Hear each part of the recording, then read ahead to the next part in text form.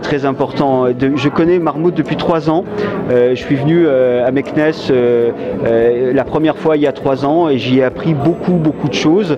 Et, je tiens à dire que si aujourd'hui je suis venu partager mon expérience avec le Festival de La Rochelle, le Festival de Meknes m'a beaucoup enrichi durant ces trois dernières années et c'est important, il est essentiel pour la fiction française, pour la fiction pardon, marocaine et euh, le Festival de La Rochelle pour la fiction française. C'est essentiel de travailler avec des gens comme Marmoud parce qu'il a le cœur et l'acharnement pour aller jusqu'au bout de ses idées et, euh, c'est vraiment quelqu'un d'important dans le festival.